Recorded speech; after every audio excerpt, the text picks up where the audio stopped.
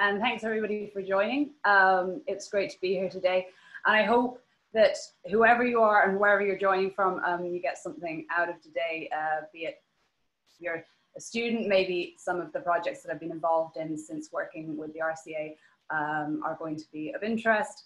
If you are a designer and practitioner, um, I just think it's always lovely to share um, work and gain insight and into different sort of modes of working and uh, see what makes other designers tick. So hopefully um, there's something in that for you. And uh, if you're just a hobbyist and passionate about knitwear, hopefully something in this um, will will strike you as interesting. If you've got any questions, please let me know. Um, so I will share my screen with you guys now and we will get going.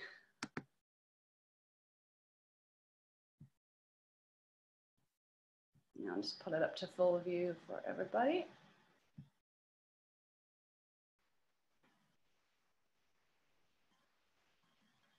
Great.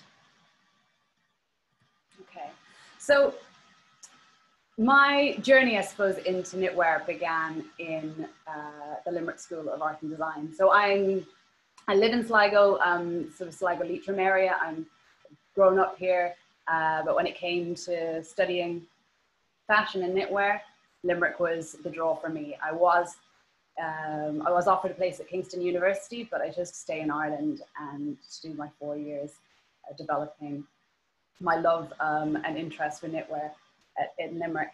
And I suppose what really drew me to it was this fantastic freedom to play and manipulate materials, uh, generate your own fabrics, and create three dimensional structures and and textural elements that really played with the body. And that for me was a, a huge draw. And I always suppose allowed the fabric to inform the garment design as I worked. Uh, and that has sort of stayed with me throughout all um, my recent knitwear work. So just to show you a little bit of my, my thought process, and I suppose this in, in a way links to that that idea of the the machine and how it can create the tension across different yarns and what happens then the transformation of that fabric when it comes away from the machine. So as a designer there's that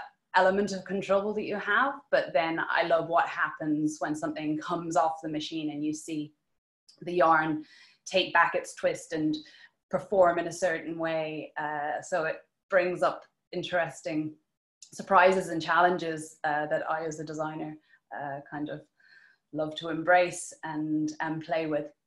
So that's, um, I suppose, just a, a, a short overview of, of some of the, the work and processes that I would have worked on through my earlier years in, in knitting.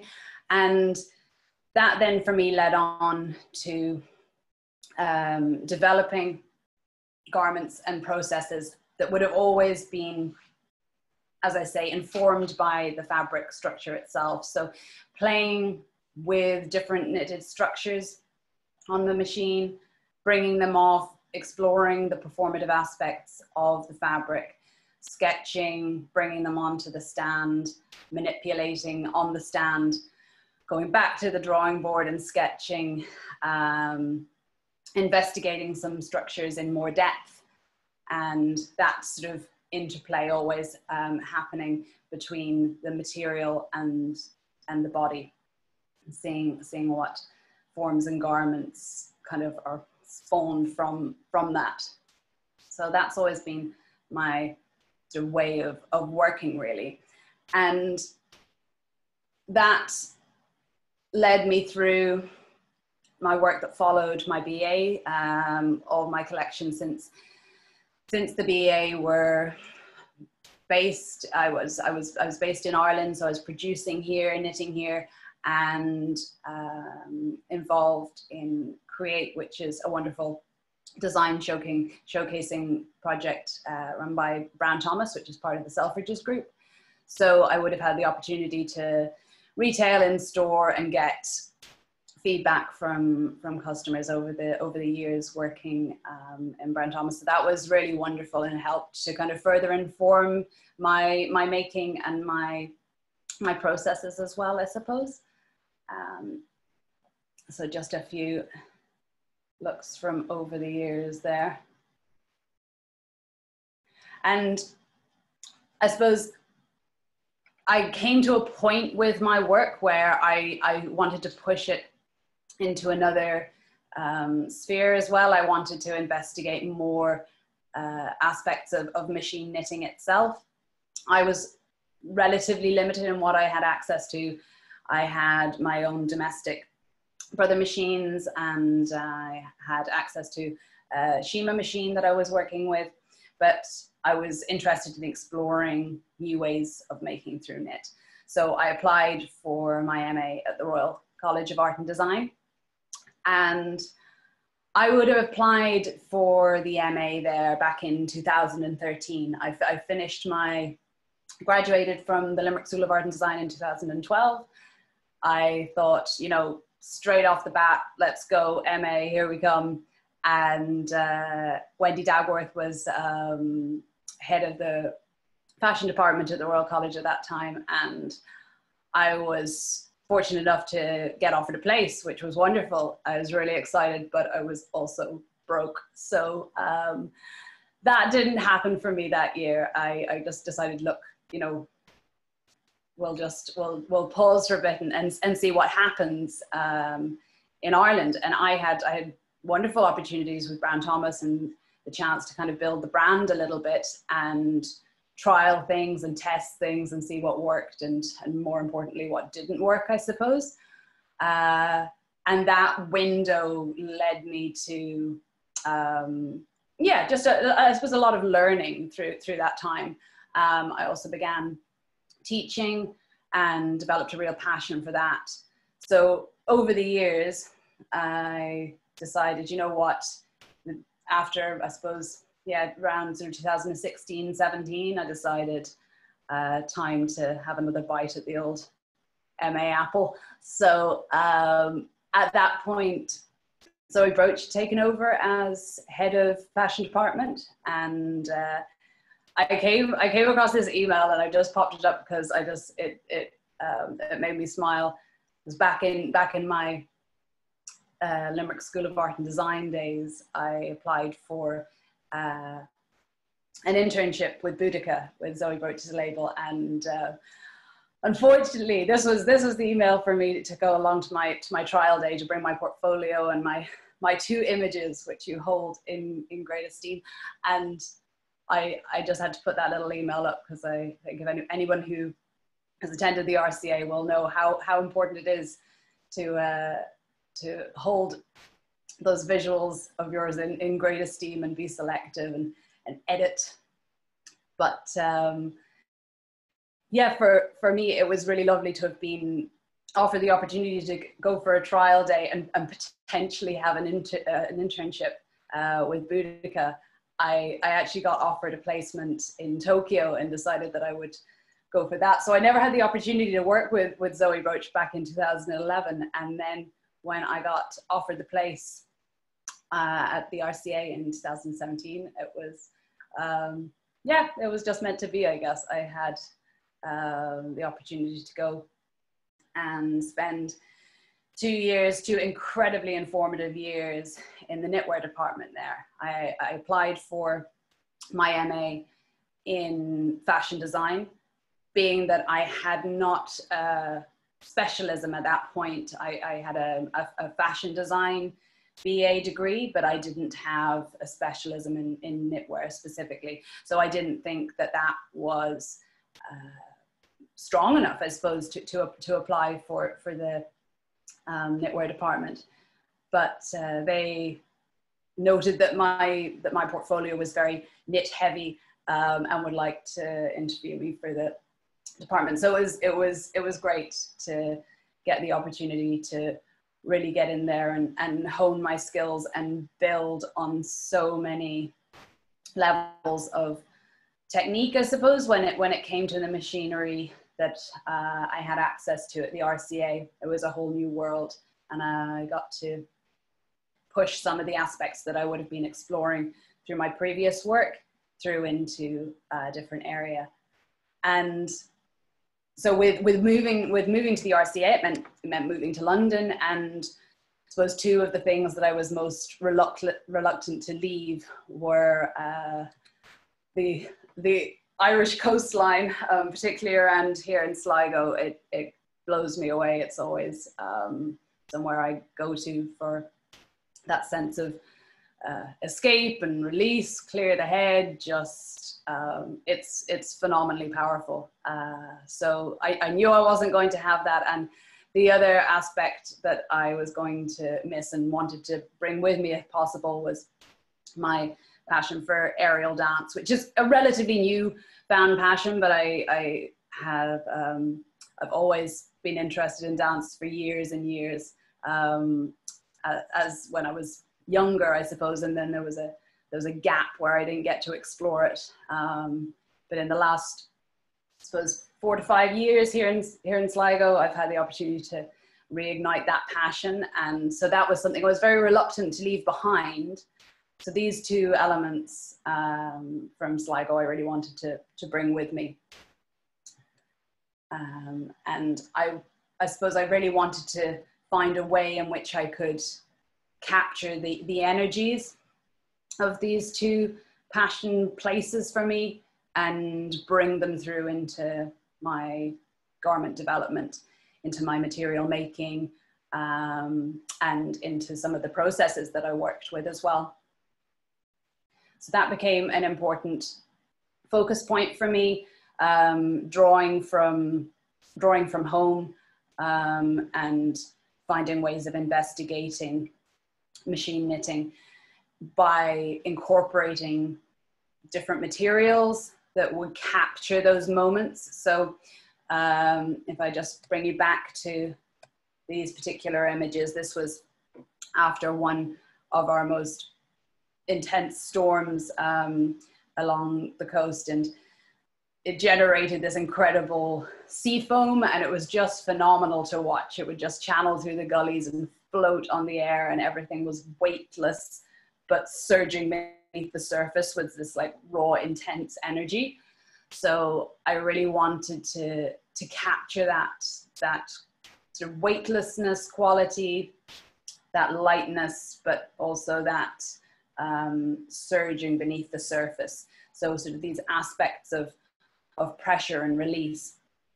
And it linked really clearly to me for some reason um, to to aerial dance and that it's it's um, I suppose it's something that really kind of pushes you to the limits, but at the same time you have these moments of suspension and these weightless moments of, of soaring. Um, so all of those qualities I wanted to kind of capture and combine and bring through into my work.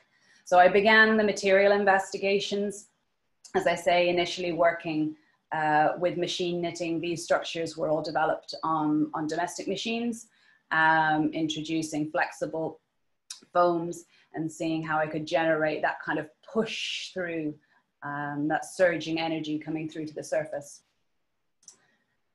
So, um, apologies, there goes a cement mixer. Um, and then I, I began and sort of thinking about how I could focus these uh, these moments of pressure and release on areas of the body that required it as well. Um, maybe there were certain pressure points, certain areas that needed uh, more focus, protection, insulation, etc. So all of this was uh, very playful, very exploratory, but led on uh, to informing a lot of the structures that I went on to work with through, um, be it with working with Dubied Machines, Brothers, Shima, and moving forward on to working with Santoni Machines in Shanghai. So these were just a couple of other developments.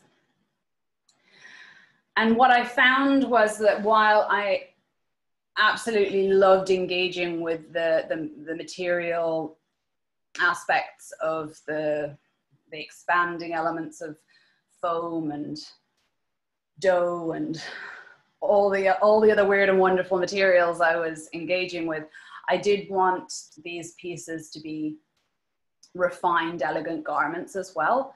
So I chose to kind of focus the surging and the energy element uh, in through the body and movement. So the body and the movement brought that that aspect and that allowed me then to refine the garments a little bit more and look at how I could generate that I suppose yeah that sort of weightlessness that elegance and um, yeah sort of I suppose just really isolate the, the key elements that I wanted to, to bring through. So these were some stills of a, of a film that I worked on with um, an aerial dancer, Nicola Birdie Scott. And it was wonderful being in London. I suppose there's there are so many wonderful things about being in London, but one of the things was that I had access to a, a great community of, of creative people across all areas, not only within the RCA, but beyond that. And so being able to connect with the aerial dance community there and link in uh, with, with dancers to get them into my garments and to understand how things were working and how things weren't working was really important for me to kind of research in an active space. So that was that was really wonderful and um, also just nice to to think about the documenting of it across different mediums as well. So not only through still photography, but through through video and um, sound as well. So we had a nice time working on that aspect.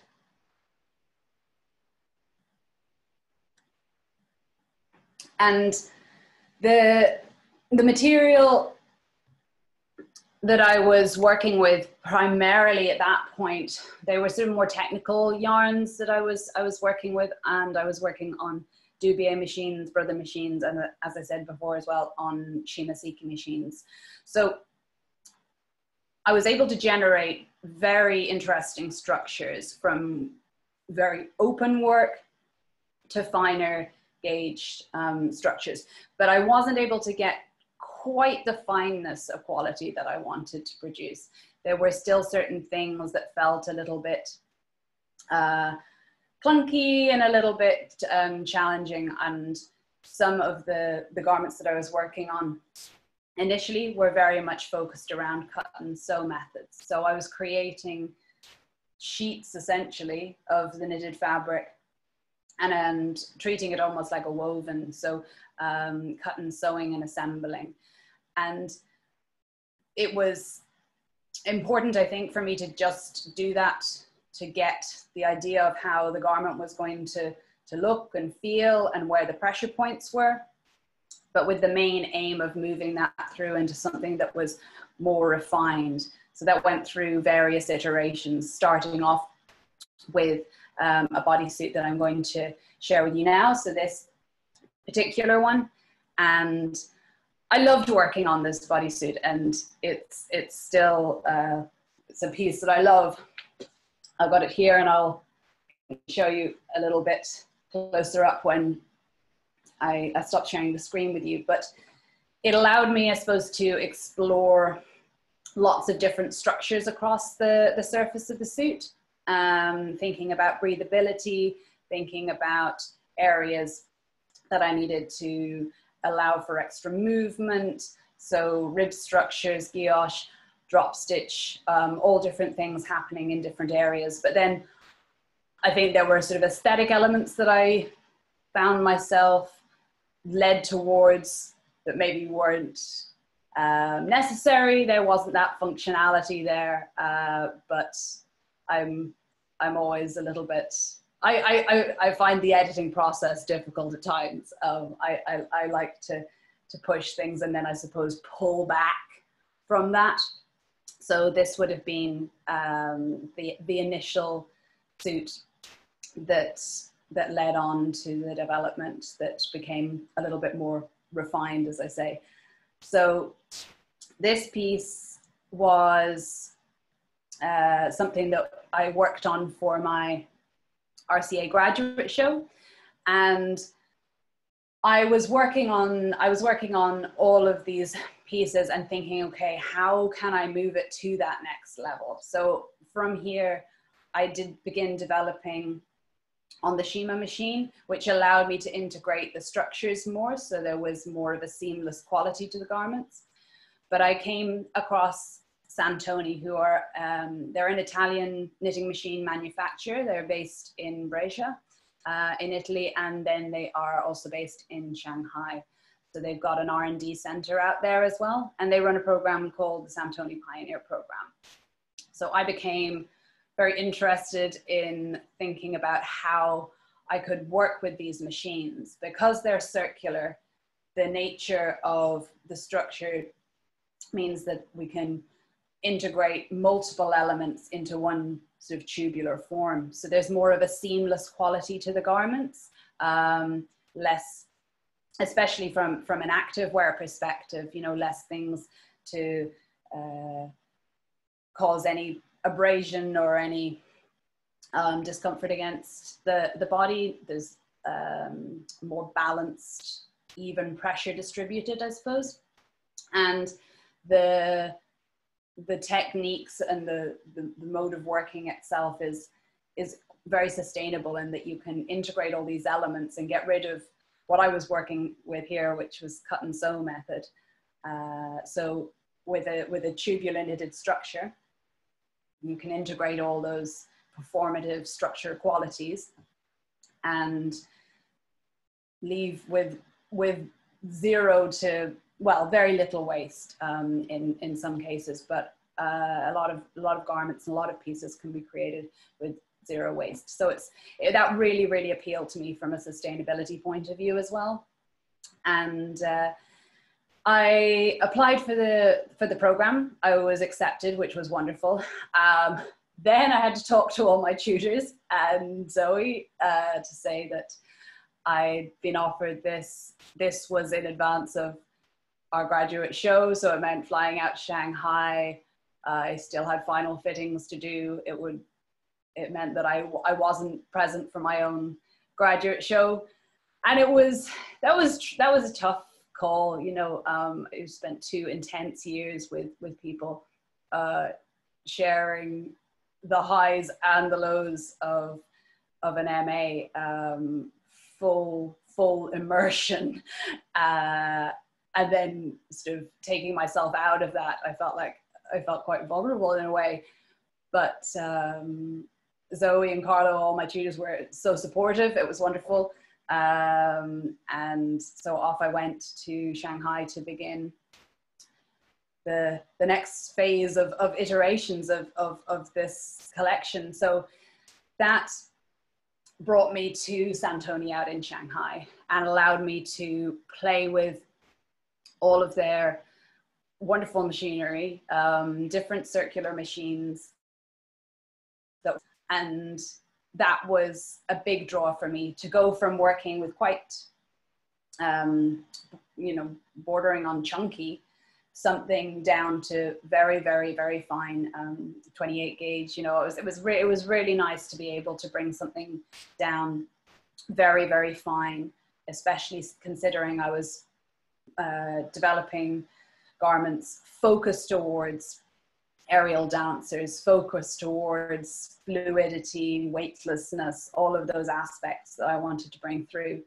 So um, I spent a couple of months there researching, playing, developing, um, and refining the garments into something that was much more seamless. So we can see on the on the right, um, still incorporating all those structural elements that I wanted to have, but but taking taking away the the seaming um, and making something that uh, is more ergonomic as well.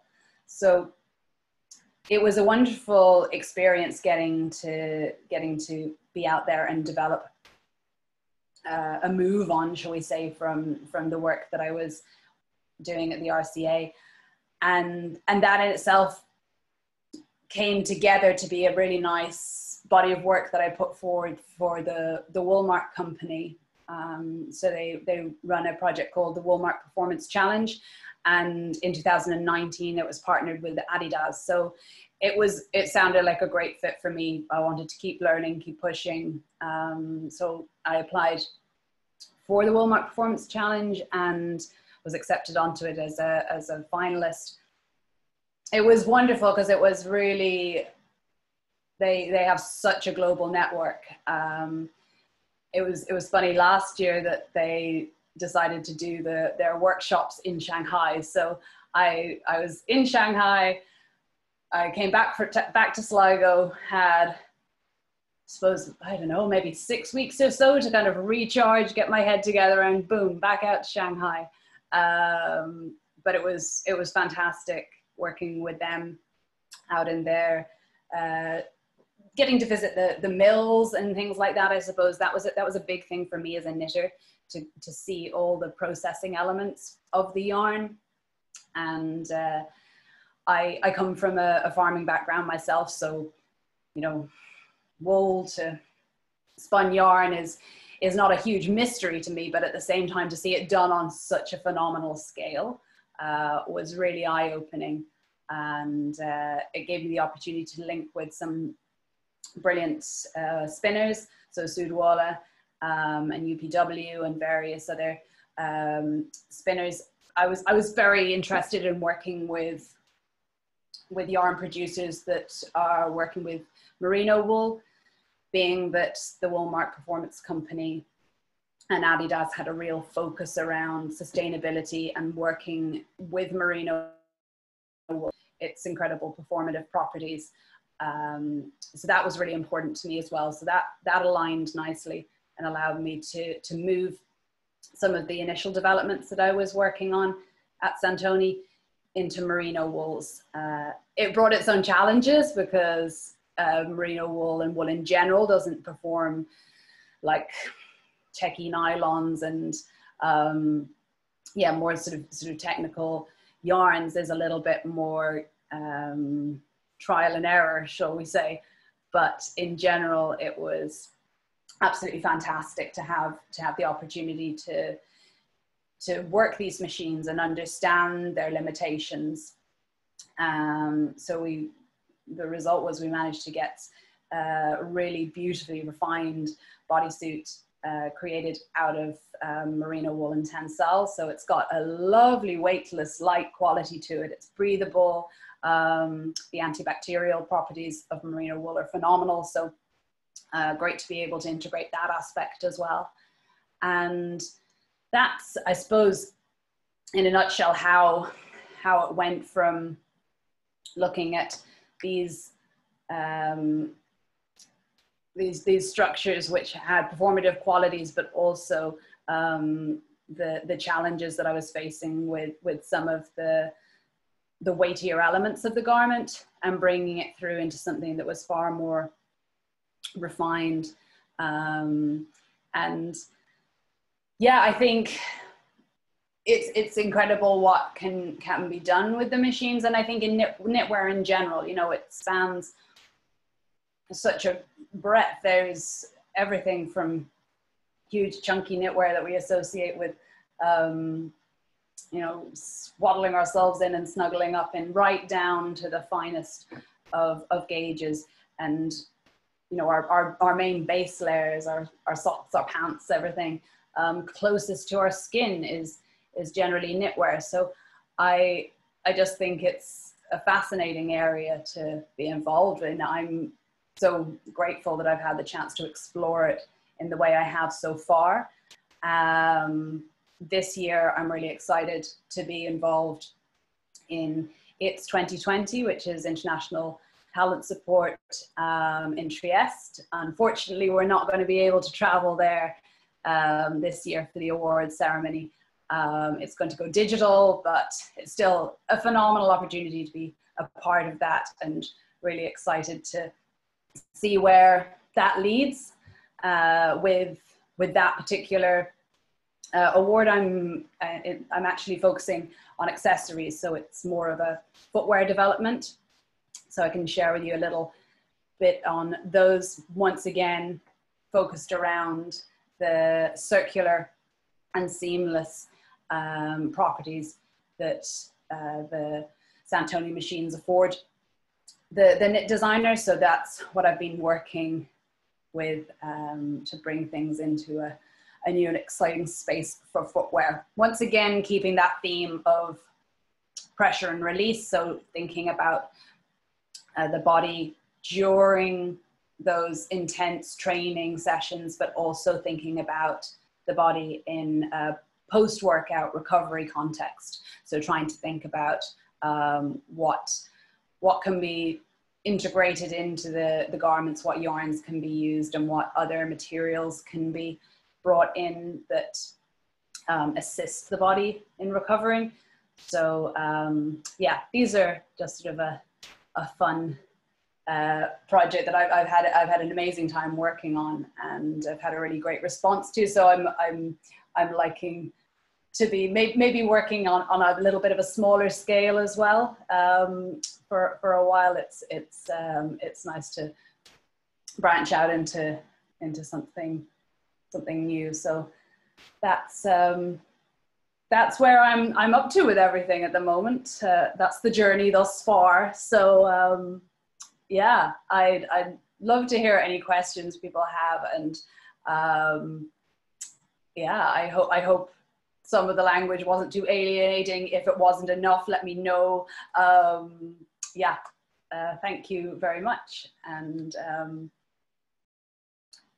yeah, any questions, please. I'll stop sharing now and I'll actually. Thanks, Rebecca. Yeah, if you want to stop sharing and maybe, I know you were talking about showing some of the garments kind of up close. Yeah, yeah absolutely. So um, this one just to show you up close is the, the white bodysuit. So just to show you some of those elements that I was talking about, as I say, it's cut and sew. Um, some nice sort of breathable structures in the in the guillotine and ribs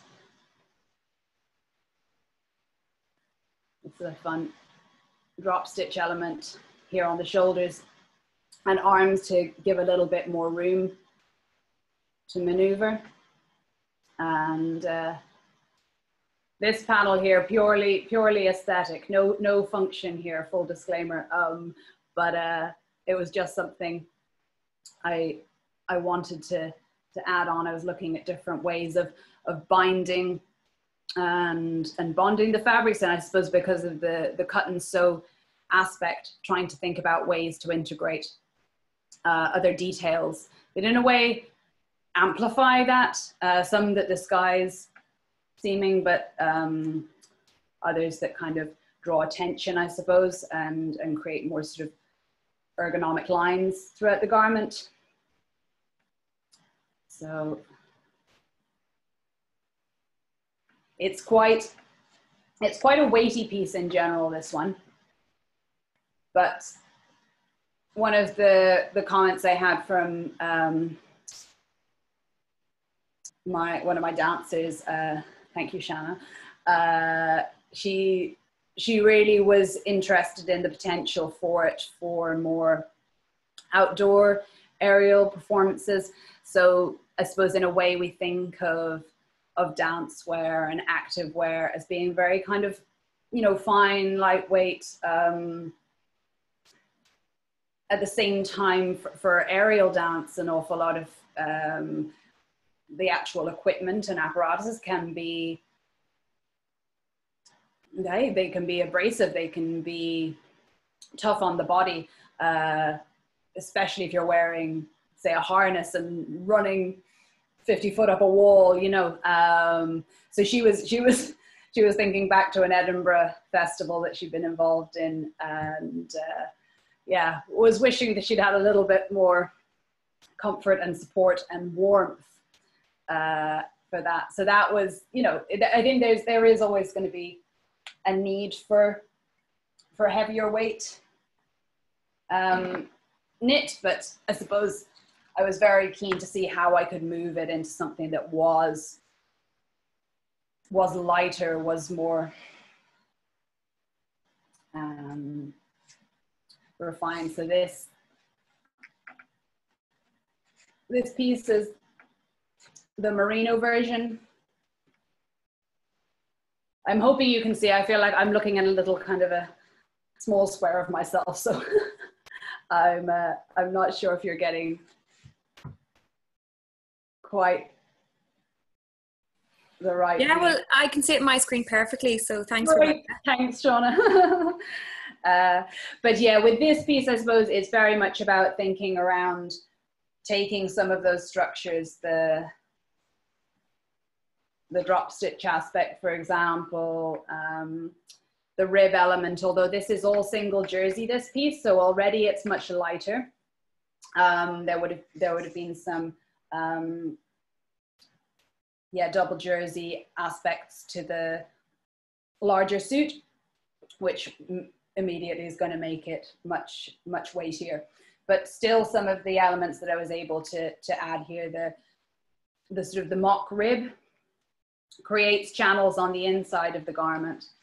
You can see here. So the idea is that through these little floating channels, um, I've fed uh, elastic, um, giving it that sort of I suppose in a way that that uh, nature of, of, of, the resistant bands. So the idea being that you can have these integrated resistant bands in certain sections of the garment.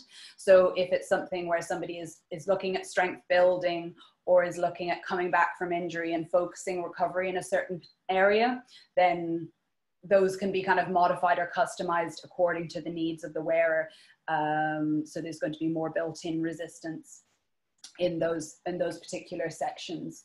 And um, yeah it's it's it's it's a lovely it's a lovely quality the with the merino. It's that that softness you'd expect from wool but that kind of cool lightness as well with the tencel um, so yeah that's great, Rebecca. We have a couple of questions. First of all, I think it's actually just such a lovely, it's really interesting to hear the connection to aerial dance. And obviously, you're thinking of your audience when you're creating some of these, which is lovely. Um, one question was ultimately, do you see yourself directing your designs more commercially or bespoke, or how do you see you, yourself directing them? Yeah, I think definitely more commercially. Like the the I suppose the the journey through uh, the MA itself, it's that safe space to explore and to play, and there there are no boundaries um, which is always the dream but in reality out the other side of that it's kind of like okay you know how how does this play out? And so i think i began thinking about that in a much more sort of focused way in my second year with with the idea of thinking right okay how how can this move forward so linking with santoni out in shanghai shanghai isn't an ideal solution for me at the moment. Um, well, look, not, nothing's ideal at the moment, shall we say, uh, but I'm definitely looking at building on the connections I made there, but moving it closer to home, so potentially production within Italy or working with clients that um, Santoni actually has because they are at the end of the day the machine manufacturers so they distribute globally um, not to Ireland yet, but hey, let's see. Um, well, so. speaking of uh, of moving closer to home, that was another question: was have you considered, um, or have you already looked at exploring Irish wool opportunities? Um, because you previously mentioned your understanding of farm to yarn. Yes, yeah, it's it's one of these things where. Um, I, I would love to, and, and it's always kind of been a little bit of a, of a, of a dream to potentially you know get that flock number and and and see what fancy breeds um, I could I could even you know farm myself here my, my parents uh, farm on on a on a small scale. But the wool that we produce is not of high enough quality. Um, really it's especially where we are in, in the west of Ireland the weather has a huge part to play in that. And Um, I'd love to say that I, I begin producing garments with Irish wool, but it's um, I, I'm a long way off making any such commitment, unfortunately. But I think there's there's a lot more that can be done with Irish wool. At the moment, we see it mostly being used for insulation um, or going for rug making. Um, but I, I still think that that there could be there could be more done in Ireland to support farmers who might be interested in, in getting into specialist breeds of, of sheep that are going to produce uh, different qualities of wool. Because at the end of the day, merino wool from the merino sheep, most of the, the yarn that I've been working with is, is coming from Australia. So it's, it's Woolmark licensed um, from Australian wool producers.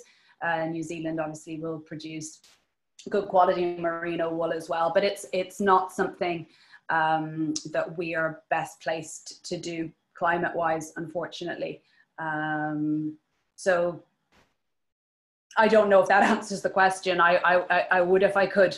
Is is I suppose. No, that that sounds great. Um, another question is: Do you have a favorite knitwear designer, or possibly you might have a few?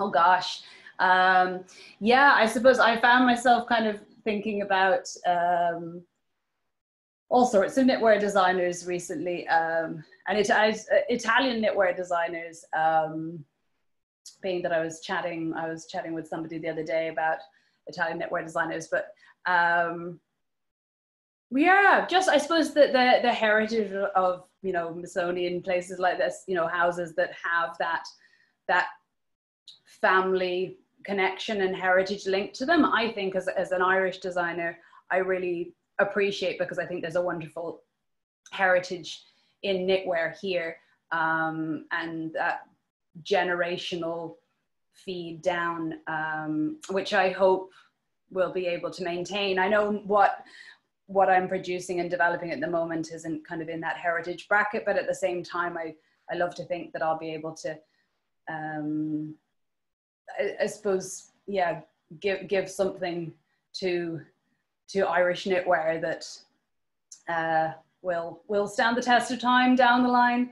Um, but I think, yeah, I suppose I suppose, um, yeah, knitting heritage brands and um, and, and Irish knitwear companies as well. Uh, Ross Duke and, and, and people who are doing wonderful knitwear. So um, yeah. I think that leads nicely into the next question, which is what uh, would you like to do next? Oh, do next. Um, I well, I've I've got so many things kind of spinning around. Uh, I've I've got a project that I'm working on at the moment that's more textile material focused that I'm really enjoying. Um, it connects to all the, all the work that I've been doing over the last few years, but it's I suppose you you find yourself working in one direction and then there are little sort of offshoots that you never at that point in time get the opportunity to explore in full. So now having come out the other side of the MA, um, having a little bit of reflective time um, over the last few months, as we all have, I found myself kind of thinking, okay, I'm going to pick up the pieces of, of, of little bits that um, spark my interest. So one of those is more of a, of a textiles uh, focused project, um, and uh, I'm I'm I'm teaching as well at the moment, so I, I really love that aspect of. I suppose at the moment exploring new ways to to engage with people um, through the, the tactile element of, of, of, what I do is so important. The making side of things. It's how how do we move forward with that? I think that's a big challenge for me as uh, as a maker trying to communicate things across you know um, this medium. And so i think the, the next stages for me as well are, thinking around that thinking about new new languages new ways of documenting various things that um, are going to sort of stand to us down the line because while this is by no means over, you know, we're we're going to we're going to face other challenges. And um, I think if if working out in China has taught me anything, it's that you know communication is is, is challenging at times. So how how are we best placed to uh, move forward with that in terms of the language that we're using around knitwear specifically in, in my space um, and and you know the the visual recording of of things for for others for learning um, so that's that's kind of where my head's at at the moment Great, Rebecca. Uh, one other question I think I was leading on from earlier on, when we were talking about the Irish wool. One person is asking about alpacas. Have you ever used the wool? No, I haven't. I haven't. Um, I've got uh, cousins actually who have alpacas, so I must I must get some. Um, new project. yeah, new project. 2021, people. and Marion from the Irish Designers Emporium was just saying, um, well done, and it's lovely to hear from you. Oh, lovely to see you, Marion. Well, not see you, but yeah, thanks for thanks for joining. um, another person just asking about what was your experience of Shanghai? Um, I had a wonderful time there, to be honest. I, I love travel um, and I eat almost everything, which helps. Um, for, for me, it was a fantastic adventure. Uh, yeah, I suppose the, the language side of things is always going to be tricky for, for us in the factory. It was working sort of between Chinese, Italian, English, um, but we all managed to find our level. And there oh there really weren't that many barriers i think. I i um i, I found that I, I was very well prepped before i i went over there. Um just just for just simple things. I, reached out to people who would have, have traveled and, and worked in china before. So um and i have a, a lot of friends from the rca as well who who were very helpful in cluing me in before I went over there. But I, had, a, I had a wonderful time. Um, I couldn't get out and exercise quite as much as I wanted. It was a bit, bit too smoggy in Shanghai for that. But um, aside from that, no, it was wonderful.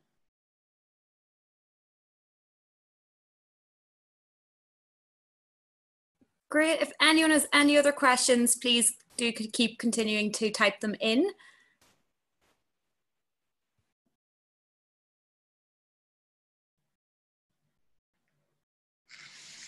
And I love how you've got the obviously the footwear and the hanging up there in the background. Is there anything else you want to show us a little sneak peek of, Rebecca? Oh yeah. Um, I don't know. It's just it's just a fun board really of of bits and bobs. I suppose this was just some of the um, just to show that kind of play that I love from coming something coming off the machine. It can be so taut, and the tension driving across it is giving you this really defined structure, but then the collapsibility of it uh, when it comes away from the machine and what forms then that goes on to uh, to generate and inspire. But then for me, you know, there, there was an aspect of the of the structural element that I didn't want to to lose in some places. So I began sort of introducing different uh, solutions that would allow me to to give a much more structured and and well not three dimensional because it's obviously three dimensional itself but it really holds the form. So this was using um, what did I use with that? So it was more like a was a glue solution to soak the soak the yarn and then it allows me to kind of manipulate and play with it. So I suppose yeah that's that idea of incorporating other materials, seeing how they play with one another. And um, these are some of the little sock structure development. So, so, all of that would have come from um, initially working on my brother machine that literally can sit right here on the table and I can work away on that and then bring those samples to, to the technicians and go through how uh, we can edit, scale up, scale down, um, develop it for, for the circular machine. So the, these are just a couple of the pieces that I was working on over there for the footwear. And this is actually, it's a, it's a, it's a really nice um, yarn. It has thermoplastic properties. So there's elements of it when heated will shrink down and can create uh, a more sort of robust structure for the base of the footwear. And then the top is all uh, soft, cozy merino. So that's uh, just one of those little pieces. And then this is a little playful it's actually amazing to see them up close. Yeah. I'm glad you can see that. I feel like I'm watching a little pinprick. I'm like, can you guys see me?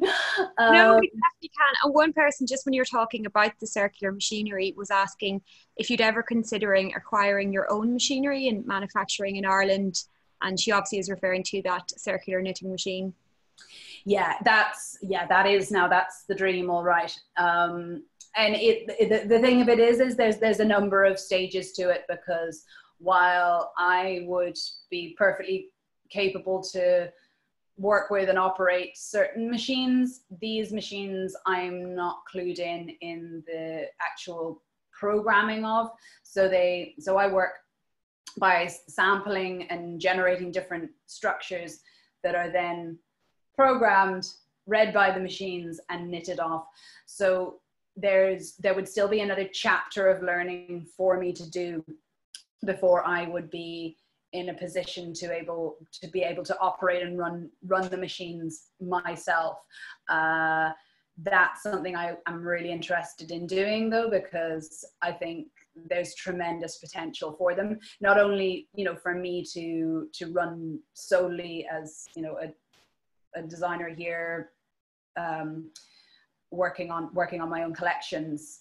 They they they're they're phenomenally um, efficient machines.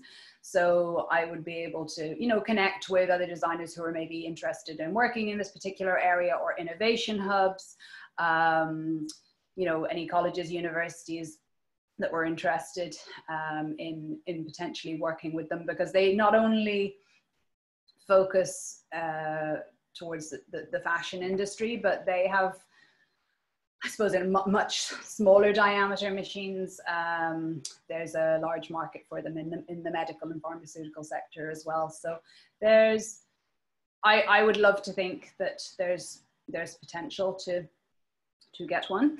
Um, and then it's about looking at, uh, as I say, just that, that little added bit of, of upskilling um, that not only I would want to do, I want to have um, uh, a support technician with me working on that. So yeah, that that will be the next chapter. Great, Rebecca. And I think we've two more questions. I, am aware that we're coming up on the, an hour at the moment. And um, thanks everyone for all your questions and sticking with us. So one is where you're teaching at the moment. And the second, which is a lovely question, is if you've ever been drawn to costume design. Mm. Okay, so um, teaching at the moment uh, at the Limerick School of Art and Design, so back at my alma mater, um, and uh, here in Sligo as well at St Angela's College, which is part of NUIG.